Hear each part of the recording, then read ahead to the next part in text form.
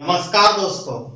आज के वीडियो में हम लोग डिस्कस करेंगे causes of rapid growth of tertiary sector tertiary sector that is service sector का मतलब क्या कारण है तेज़ी से विकास होने का डेवलपमेंट होने का, बहुत तेज़ी से हमारे इंडियन इकोनॉमिक्स में। उसी पर हम कुछ नंबर ऑफ़ फैक्टर को एग्जामिन करेंगे और ये course code MEC 105 Indian economics policy और ये बहुत ही वीवीआई इंपॉर्टेंट क्वेश्चंस है। ये दो तीन बार हमारे terminal examination four paper fifth में पोस्ट हुआ है।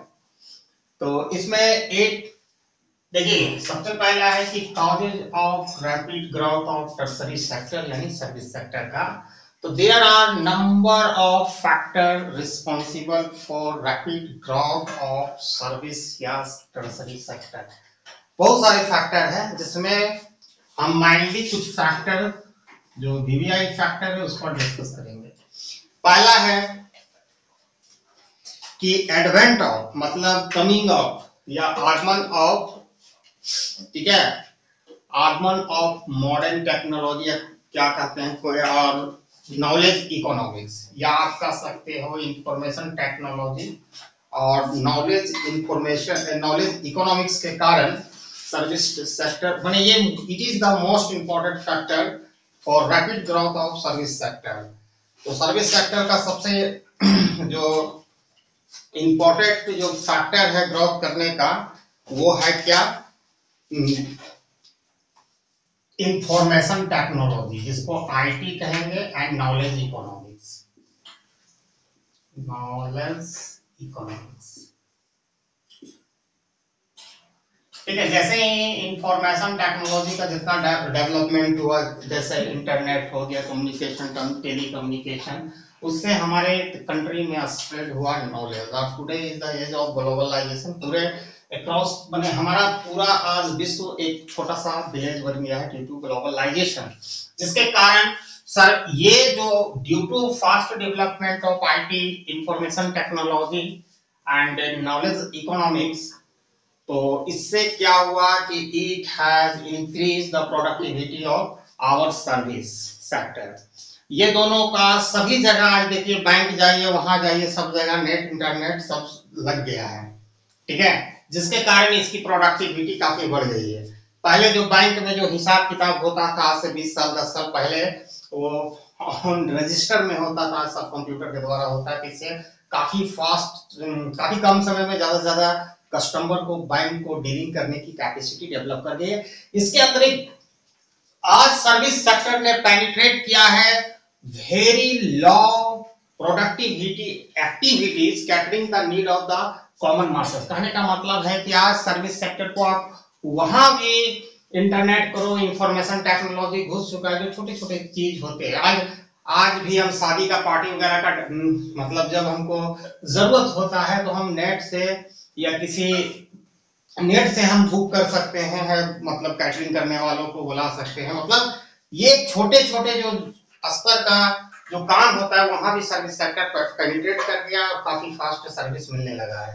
तो ये पहला कारण था। Information technology and knowledge economics जो one of the most responsible factor for growth of service sector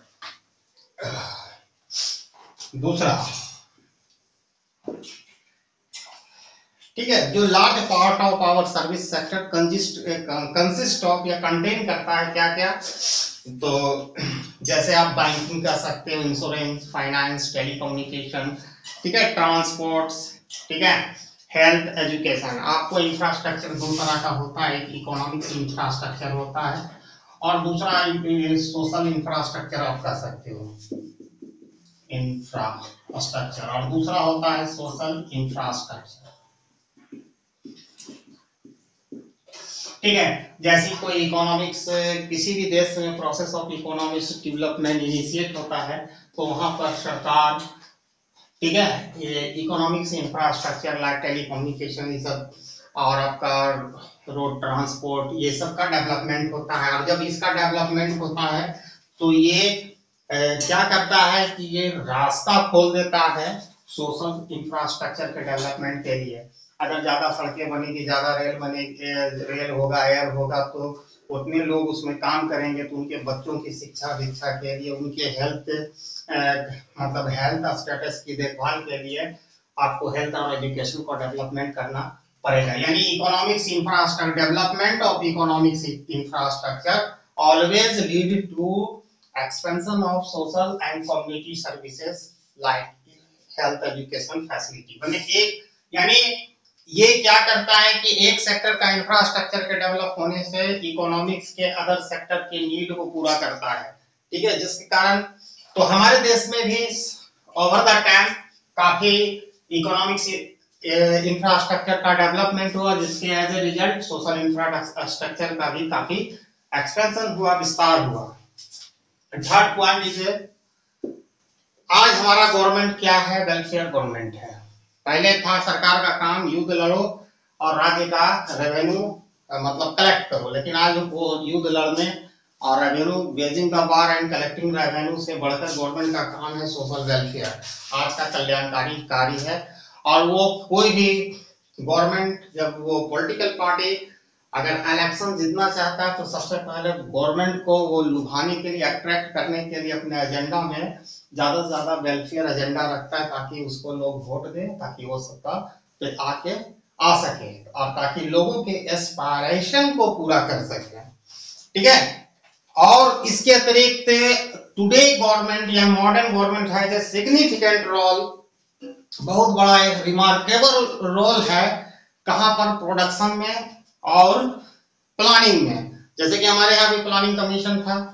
1950 में जिसको अभी डिजोल्व कर दिया गया, लेकिन वहाँ नीति आयोग जो national integration of economics NITI Aayog NITI आयोग।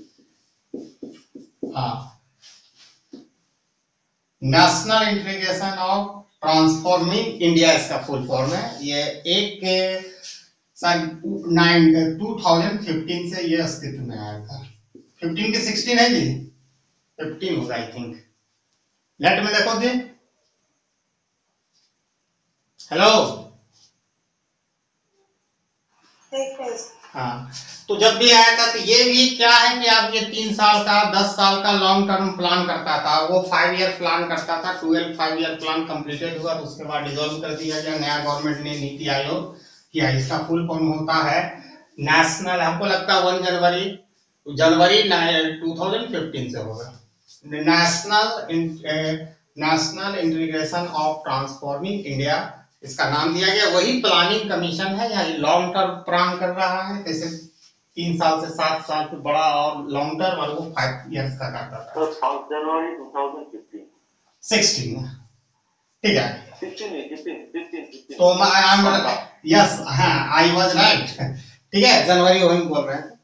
तो आज का गवर्नमेंट का मैंने major significant and remarkable role होता है प्लानिंग एंड क्या में प्रोडक्टिविटी इन इकोनॉमिक्स में। अब गवर्नमेंट क्या करता है बता देते हैं कि गवर्नमेंट खुद क्रिएशन करता है, बहुत इकोनॉमिक्स के ग्रोथ को, मैंने इकोनॉमिक्स के ग्रोथ को बढ़ाने के लिए खुद इंफ्रास्ट्रक्चर सोशल और इकोनॉमिक्स इंफ्रास्ट्रक्चर का डिमांड खुद वो निर्माण करता है सप्लाई करता है, इसके फलस्वरूप सर्विस मैंने जब रोड बनेगा ठीक है?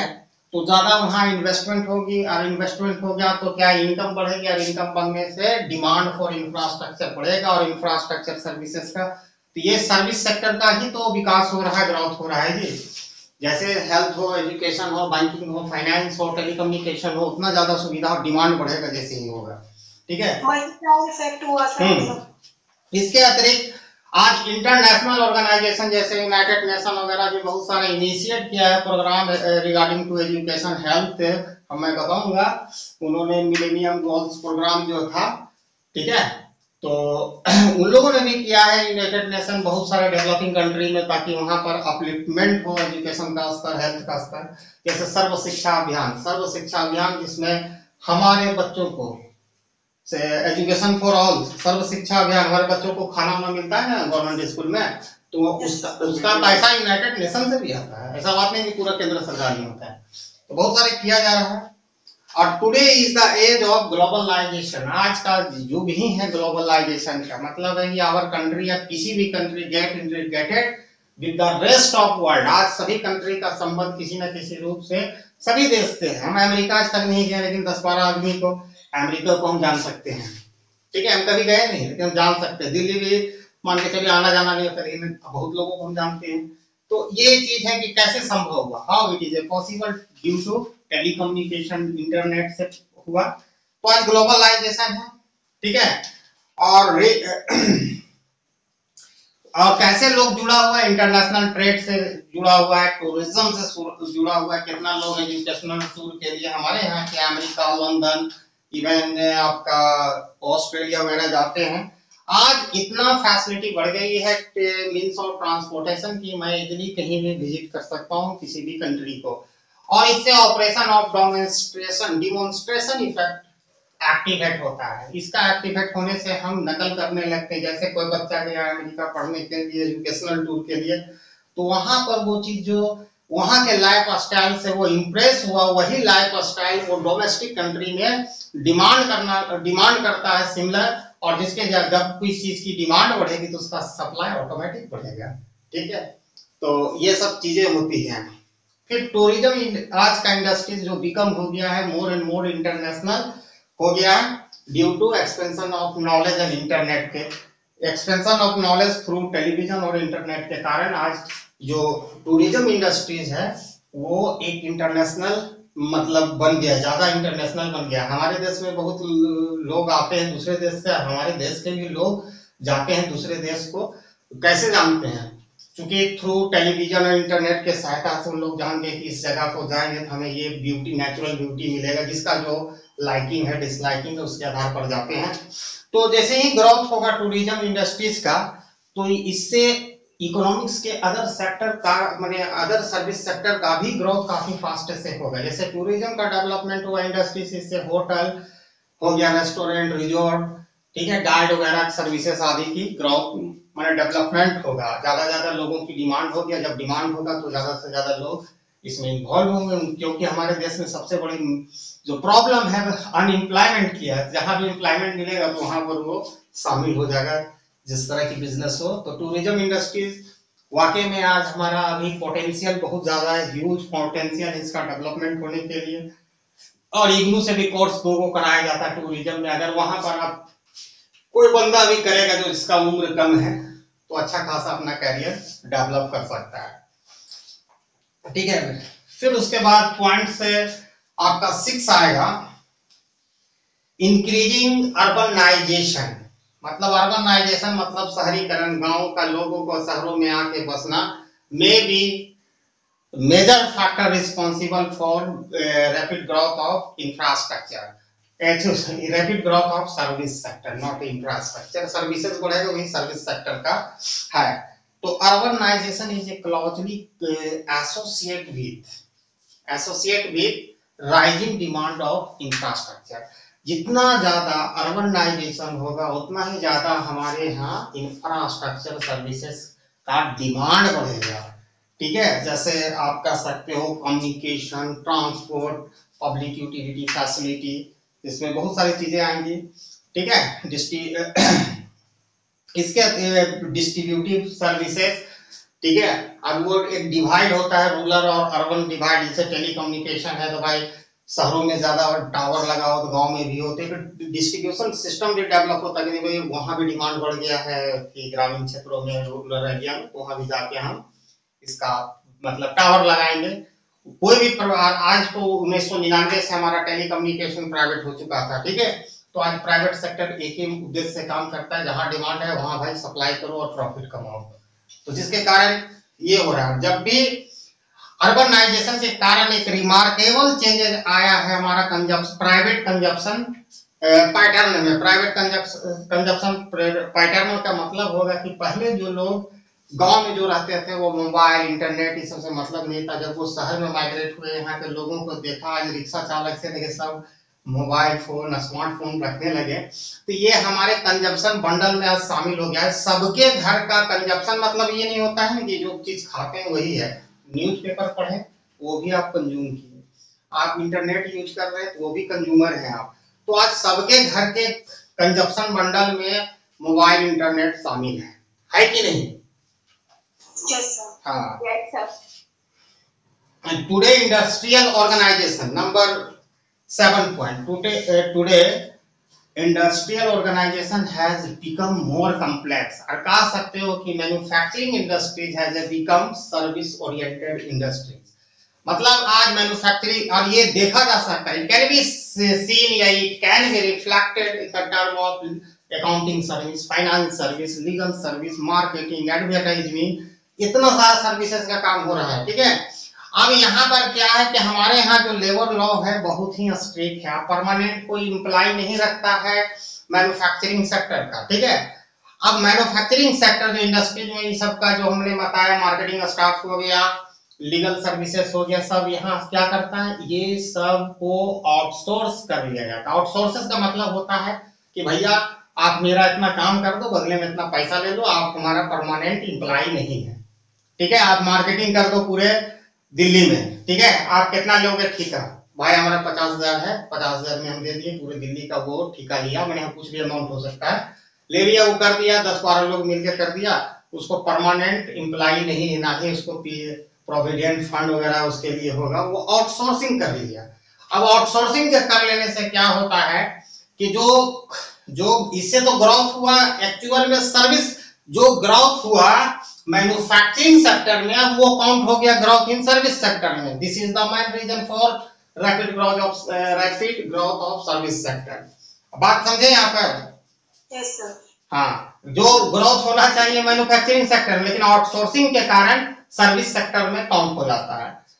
और इसके अतिरिक्त ऐसा इसलिए करता है एक तरफ़ तो वो सेविंग करता है अपना कॉस्ट और दूसरी तरफ़ जो यहाँ के स्ट्रिंग के आप स्ट्रिक्ट लेबर लॉ है, आप किसी व्यक्ति को अगर काम पर रखिएगा तो प्राइवेट हो या प्राइवेट हो या पब्लिक सेक्टर में, आप निकाल नहीं सकते हैं। कुछ बहुत सारे रूल है। प्रोसीजर है, और उतना प्रोसीजर और प्रक्रिया से गुजरना आसान नहीं है। नंबर एट पॉइंट हमारा इंटरनेशनल जो मतलब ये इंटरनेशनल जो इन्वायरमेंट रहा है सर्विस सेक्टर के ग्रोथ के लिए बहुत ही फेवरेबल रहा है। और इसने ओपन किया है massive possibility for fast development of internet entertainment and information technology ऐसा हमारा इंटरनेशनल जो इन्वायरमेंट रहा है, जैसे, जिससे कारण हमारे यहाँ इंटरटेनमेंट इंडस्ट्री मतलब सिनेमा वगैरह हो गया जी।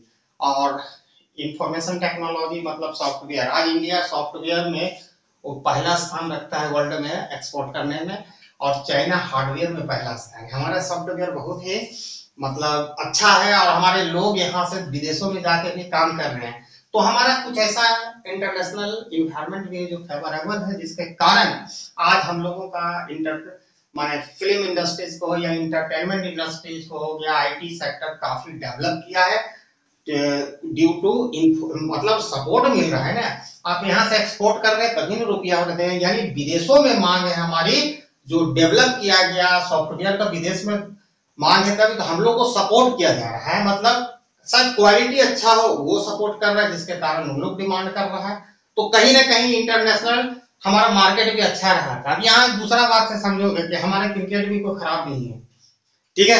लेकिन आज भी पाकिस्तान से हमारा मैच नहीं होगा, क्योंकि हम लोग दोनों कंट्री के अच्छा रिश्ता नहीं है। ठीक है? तो उसी प्रकार जो हमारा जो सॉफ्टवेयर हम लोग डेवलप किए एक्सपोर्ट किए तो अच्छा इन्वायरमेंट है, तभी ना दो देशों के बीच में इंटरनेशनल ट्रेड होगा। पहला तो कंडीशन है कि संबंध पहला दो कंट्री में अच्छा होगा, तभी आप इंटर मतलब इंटरनेशनल ट्रेड कर सकते हैं। ठीक है?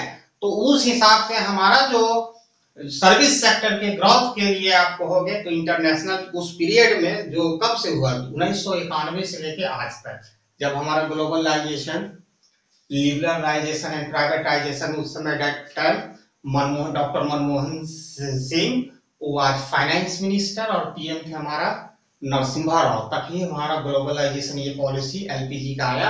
उस समय से आज तक का इन्वायरमेंट हमारा अच्छा है संबंध बढ़िया है। ऐसा बात नहीं कि चाइना से हमारा संबंध आए दिनों में खराब होते रहता है वो अलग बात है लेकिन आज भी हम लोग बहुत सारी चीज़ का इम्पोर्ट करते हैं वो भी हमारे देश का बहुत सारी चीज़ का उन लोग भी मंगाता है एक्सपोर्ट करता है।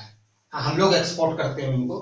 ये क्वांटिटी ऑफ़ हम जानते हैं कि क्वांटिटी ऑफ़ जो इम्पोर्टेड गुड्स है वो ज़्यादा है एज कंपेयर टू जितना हम एक्सपोर्ट करते हैं। तो ये था rapid growth of service sector और इसके अतिरिक्त भी आप जितना मेजर सिटी है पूरा अमेरिकी पैटर्न पर डेमोन्स्ट्रेशन इफ़ेक्ट के कारण फ्रीलांसेस वगैरह सर्विस है। अब लोग भी अब वो पुराना जमाना नहीं ट्रेडिशनल सर्विस करना चाहते हैं कि लोग कि आप कि सुबह जाइए, दस बजे, पाँच बजे तक आपकी छुट्टी हो गया, वो खत्म हो गया जमाना। आप कहीं भी रहिए, टूर में रहिए, आपका काम से काम मतलब रखिए, घर बैठे हम कर देते हैं। आपका महीने का काम हम दस दिन में कर देते हैं तो हम महीने भर फ्री है अपना। जितना हम काम करेंगे, उतना पैसा मिलेगा। तो वो कमीशन बेस्ड सर्विस हो गया आजकल। तो इससे क्या हुआ है कि सर्विस सेक्टर का ग्राउथ हो गया कमीशन बेस्ड सर्विस है तो उसके लिए कोई इंटरव्यू वगैरह नहीं देने की ज़रूरत है। आपको उस कंपनी को काम से मतलब है, आप उसका काम कर दीजिए, आपको उसके बदले में वो पैसा दे देगा। इस प्रकार के कॉन्ट्रेक्चुअल वर्क ज़्यादा बढ़ गया अमेरिका में अभी ज़्यादा मात्रा में फ्रीलांसर्स चल रहा है, वही चीज़ यहाँ का भी। देखिए, यहाँ भी कुछ स्टेट ऐसा ज़रूर है या कुछ मेजर सिटी वो बिल्कुल जो कल्चर अमेरिका का है, वो यहाँ भी सेटअप हो चुका है। कम से कम रोज़गार के क्षेत्र में।